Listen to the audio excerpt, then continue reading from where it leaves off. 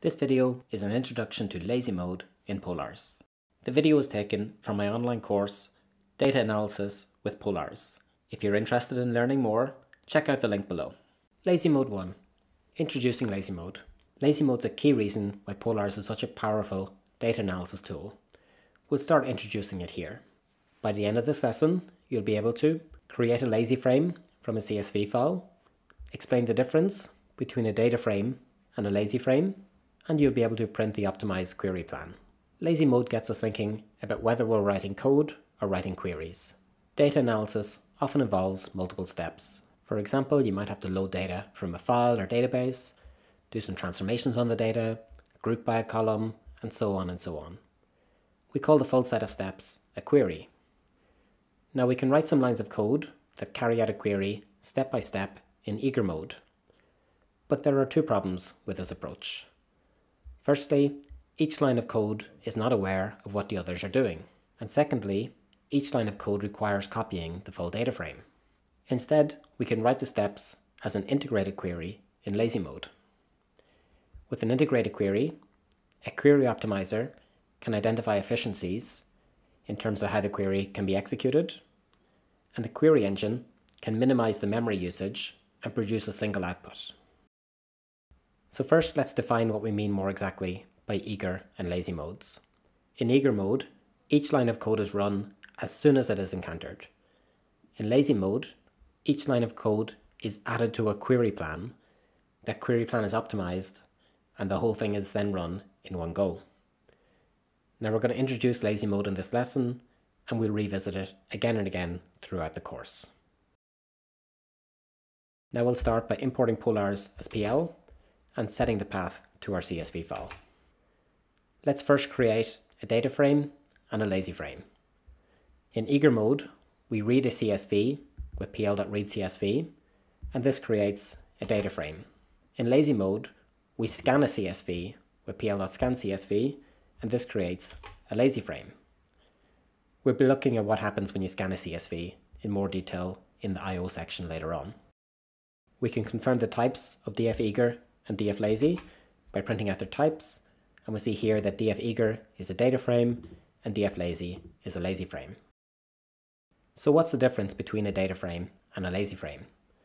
Well, if we print a data frame, we see data. Here we print out the first two rows of df eager. But if we print a lazy frame, we see a query plan. The key message is this.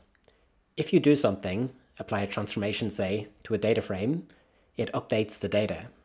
If you do something to a lazy frame, it updates the query plan.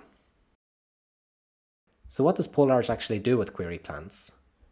Firstly, Polars creates what it calls a naive query plan from your query.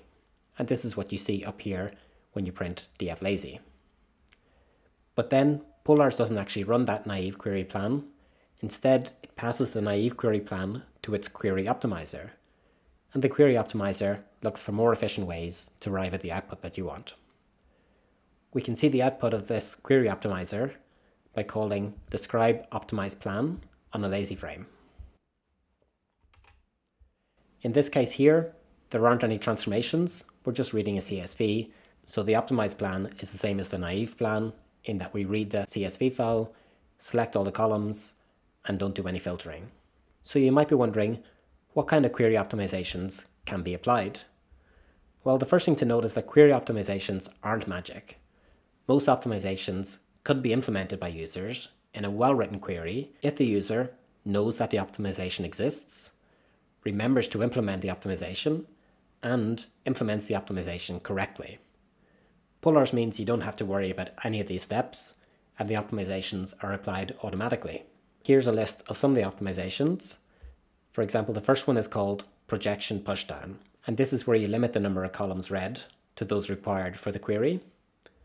The second one is called predicate pushdown, and this is where any filter conditions are applied as early as possible in the query. There's a related one called slice pushdown, and this is when you only want a subset of rows to be outputted, and so you make sure that you only process a limited number of rows if possible. Then we have combined predicates, which is where you combine multiple filter conditions into a single filter condition, and then common subplan elimination. And this is where you have a complicated transformation that contains some duplicate work in different parts of the query plan, and Polars looks to eliminate that duplication and just do the transformation once. And these are just a selection of the optimizations that Polars applies.